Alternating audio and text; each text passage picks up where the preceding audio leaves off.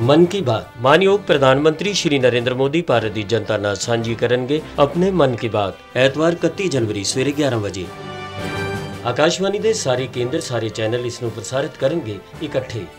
ਇਸ ਤੋਂ ਇਲਾਵਾ ਦੂਰਦਰਸ਼ਨ ਦੇ YouTube ਚੈਨਲ ਅਤੇ ਪ੍ਰਸਾਰ ਭਾਰਤੀ ਦੇ ਐਪ ਨਿਊਜ਼ ਔਨ 에ਅਰ ਤੇ ਸਜੀਵ ਪ੍ਰਸਾਰਣ ਲਾਈਵ ਸਟ੍ਰੀਮਿੰਗ ਦੇ ਰਾਹੀਂ। ਤੇ ਯਾਦ ਰੱਖੋ, ਐਤਵਾਰ 31 ਜਨਵਰੀ ਸਵੇਰੇ 11 ਵਜੇ ਮਨ ਕੀ ਬਾਤ।